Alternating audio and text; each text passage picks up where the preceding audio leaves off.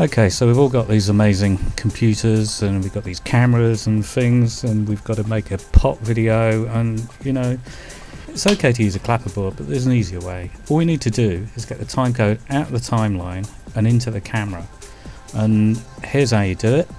First of all you need to go to YouTube, get this video, download it using the Firefox plugin and then you drop it into the timeline in Final Cut. You need to set your timeline preferences so that the timeline timecode starts with the same value as the timecode on the movie there, which is 59 minutes and 50 seconds, or basically 10 seconds before one hour.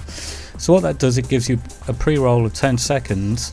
Then all you need to do is drop your audio in at exactly the one hour time on the timeline, and uh, and you're away. So. Uh, away where, I you ask. What you need to do then is export this so that one channel is the time code and the other channel is the audio. You send the audio out to your speakers, you send the time code out to your iPad. Uh, you put it in using this little gadget, the iRig, and you plug that into your iPad and the Clockit timecode app reads the timecode that's coming out with the audio.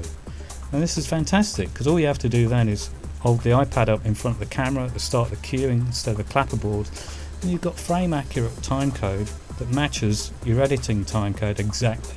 So then you just take your clips, drop them in, line them up, perfect sync. How about that?